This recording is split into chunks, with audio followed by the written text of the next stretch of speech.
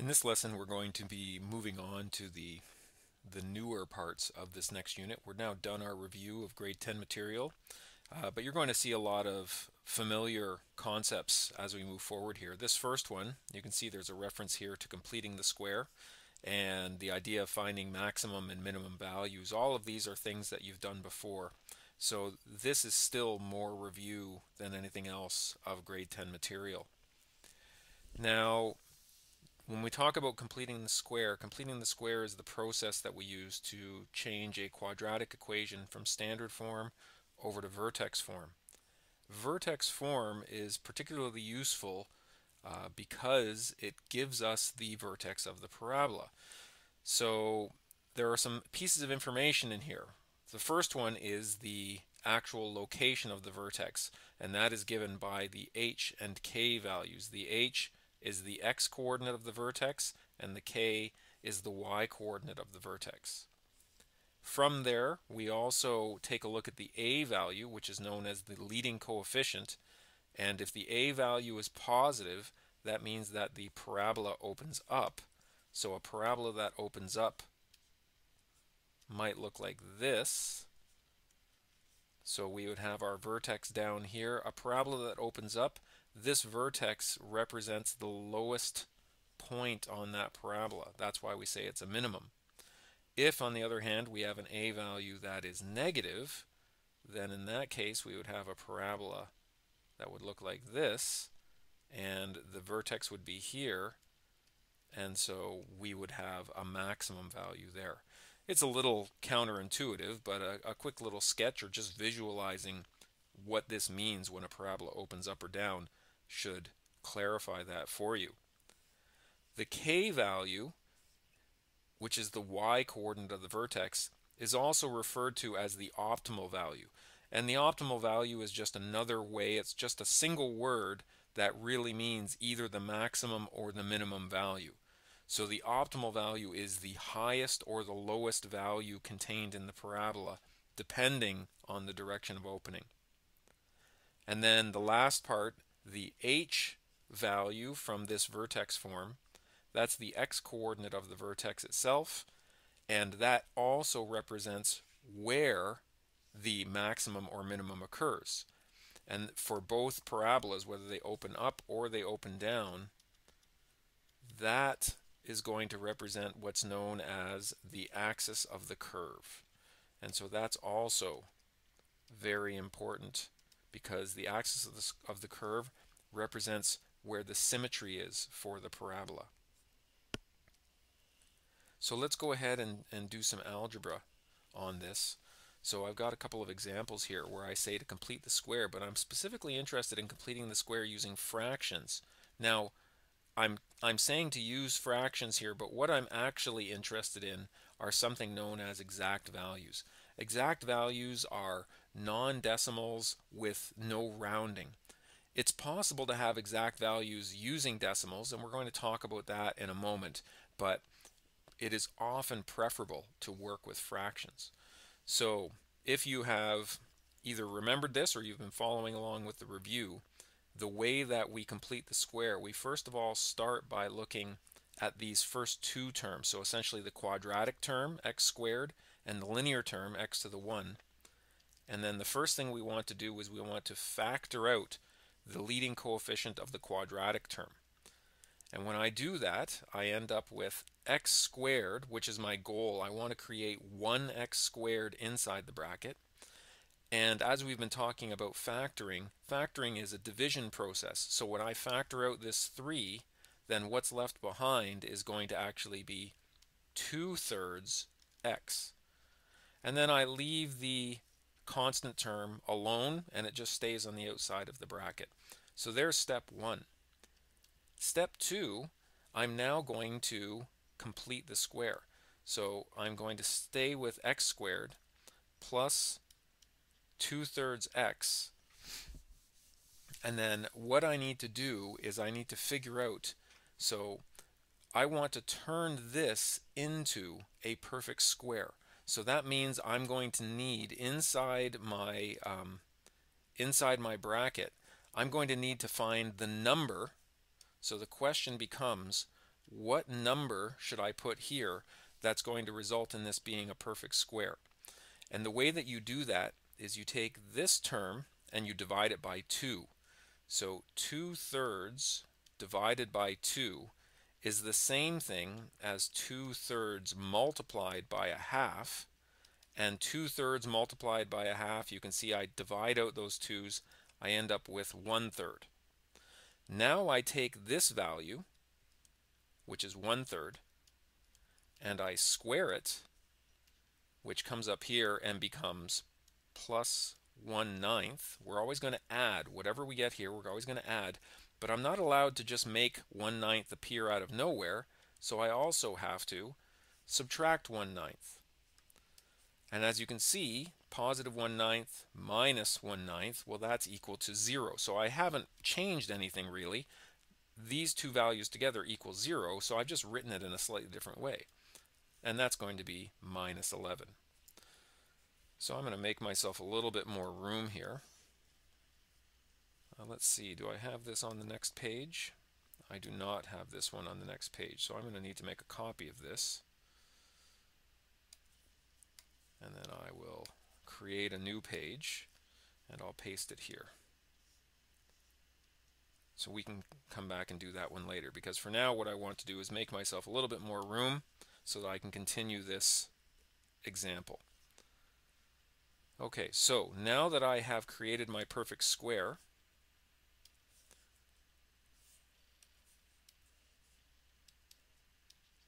three and now I can write this perfect square. So what is the perfect square? x squared plus 2 thirds x plus 1 ninth. That is actually x plus 1 third all squared. And then I'm going to keep that negative 1 ninth that I had from before minus 11. Now I've created this perfect square. So this perfect square is this piece right here is the same as this piece right here. So if you were to expand this out again, you would end up back here again. And now I'm going to take this 3 and I'm going to multiply it in. So the 3 times this perfect square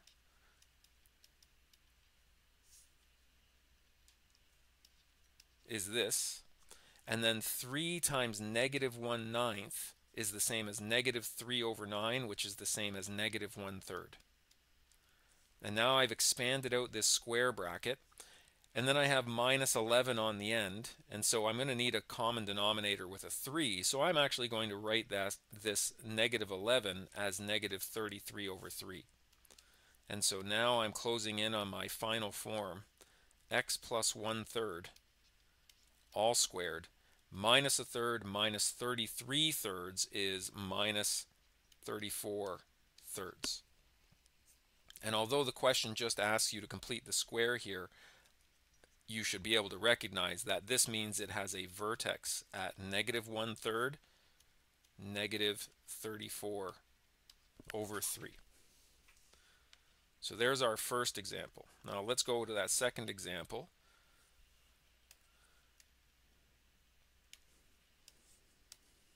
So now we're going to out of the first two terms, I'm going to factor out the leading coefficient of 5. That leaves me with x squared plus 8 divided by 5 is just going to be 8 over 5, x, and then that minus 3 stays out on the end by itself. Now we focus on what's inside this square bracket. So it's going to be x squared plus 8 fifths x, and then I have to figure out what to put here inside the bracket and then minus 3 stays on the outside.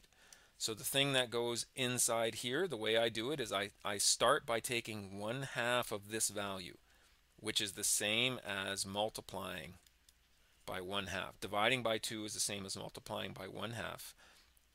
2 goes into itself once, it goes into 8 four times.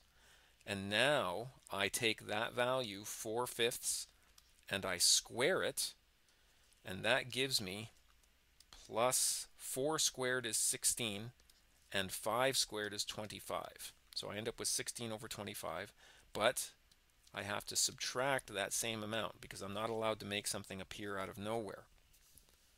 Now that I've done that, I have created a perfect square.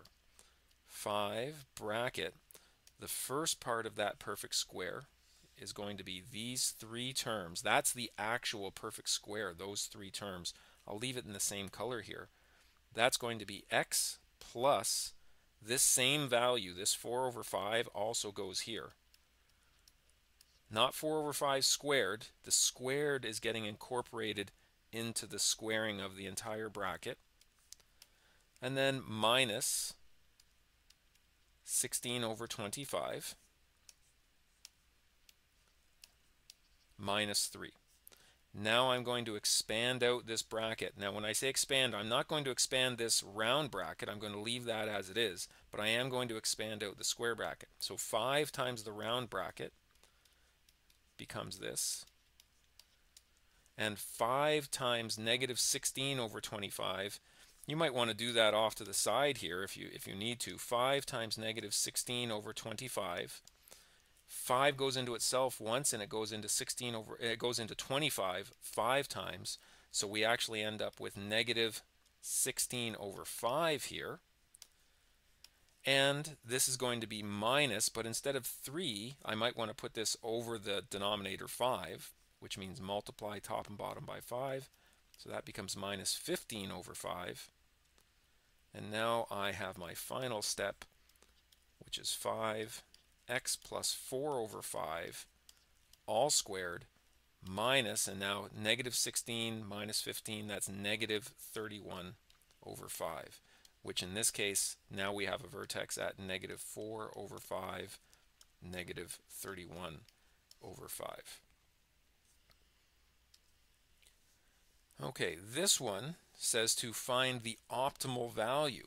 But when we talk about optimal value, as I mentioned on the first page, that's really just is it a maximum or a minimum and what is that value? Now we can answer this first part right away because this is positive 5. This is a leading coefficient of positive 5. That means that the a value is greater than 0. If an a value is greater than 0, that means that the parabola opens up. You don't need to write this out in your own solution but you need to be able to do this in your head. It opens up, it looks like this, there's the vertex, and so which of these do we have? We have a minimum. So our optimal value is going to be a minimum. But the optimal value is also what we're looking for here is the y coordinate of the vertex.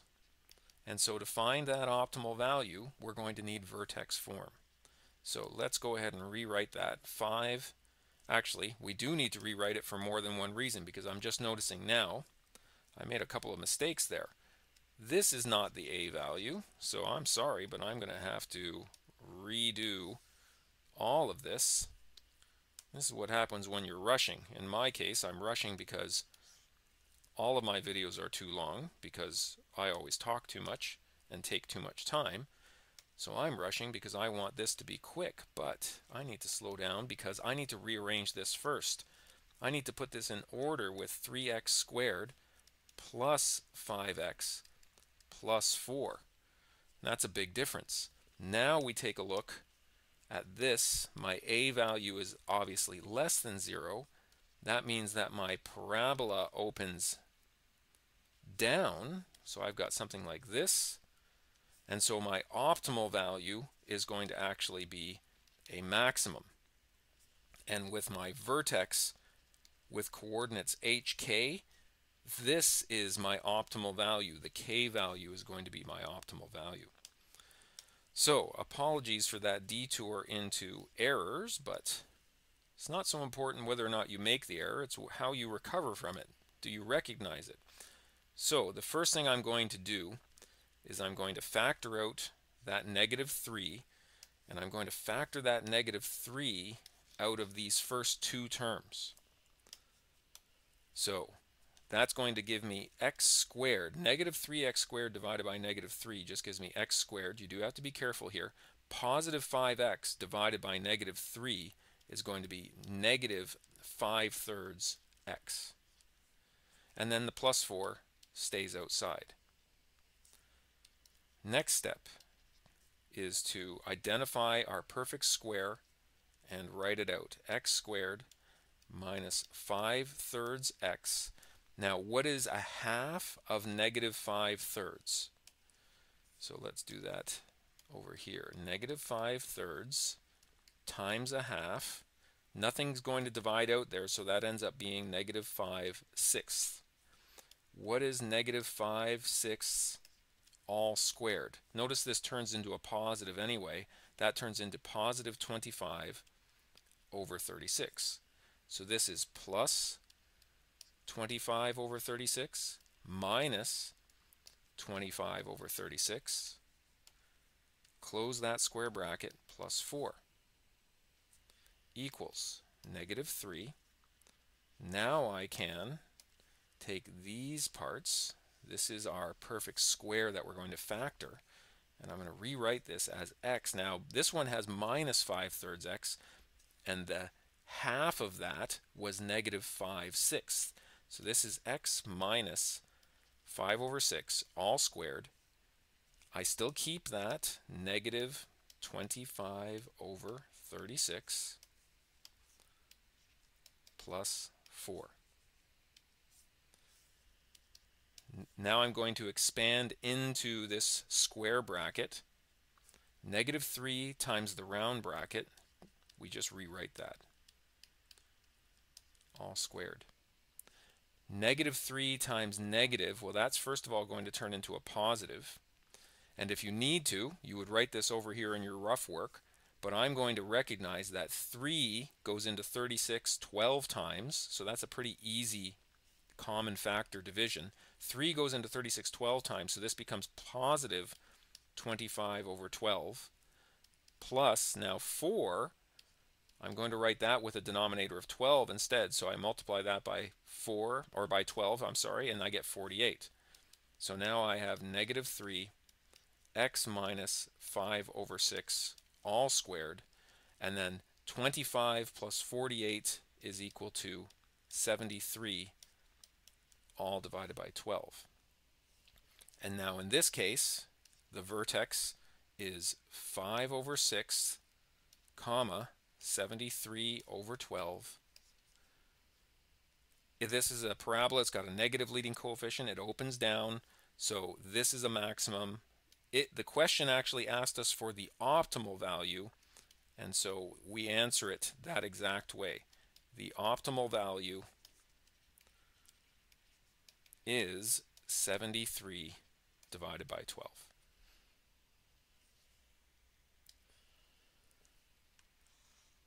Okay, now I mentioned earlier in the note that sometimes it's permissible and sometimes it's even preferable, depending on what the algebra itself looks like sometimes you want to use uh, non-repeating decimals. So what do I mean by non-repeating decimals? What is two-thirds? That is 0.66666, etc. It repeats. So there's no way for me to write this as a decimal that contains that exact information. There is this notation that many of us have learned, but we don't tend to use that, particularly when a fraction notation is available. So when I have the choice of something like that, I'm going to write that as two-thirds. So what's the exact what's the idea of a terminating decimal? Well, the simplest terminating decimal is one half.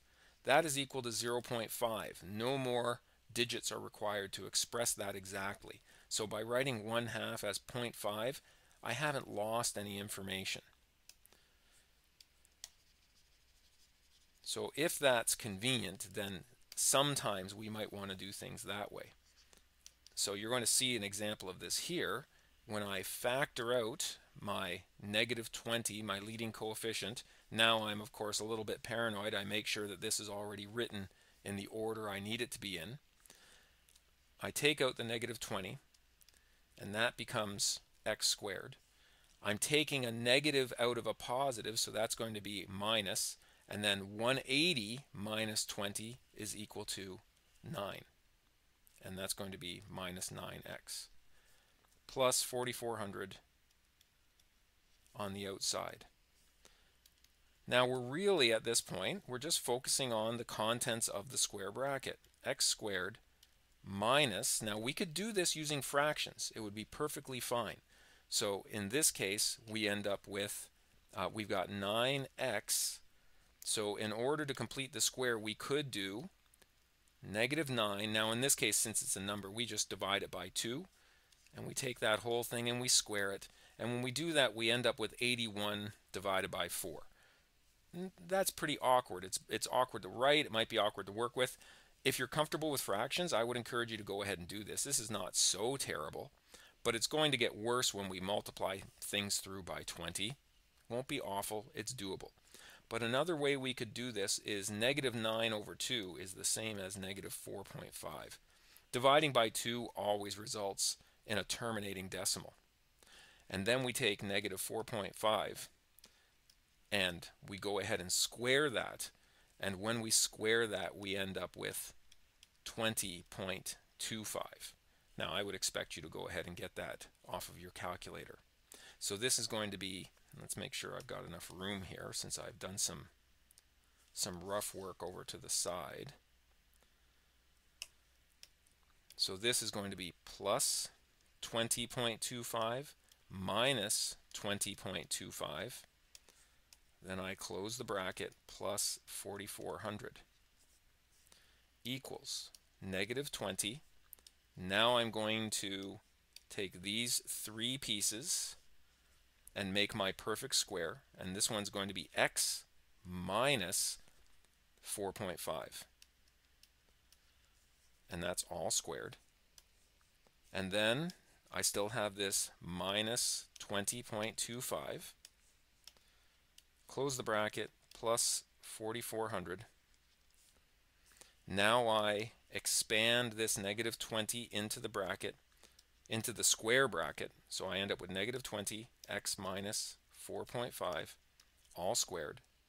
And now 20 times 20.25 Again, it depends on how comfortable you are with these things. I'm, I'm currently working without a calculator here, which always isn't always the best idea.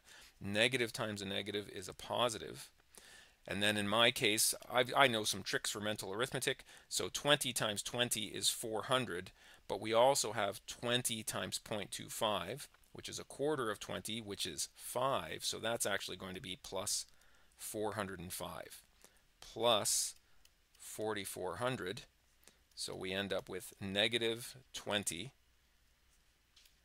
x minus 4.5 all squared and then that's going to be plus 4805. We want to always make sure that we're checking the question to know what they're asking. In this case they want the optimal value. The optimal value is the y coordinate of the vertex and in this case that occurs at 4,805. So therefore, the optimal value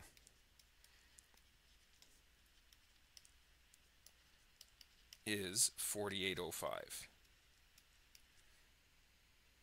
Okay. And that's it for this lesson. I'm sure it went longer than I wanted to, despite my rushing and making a small mistake.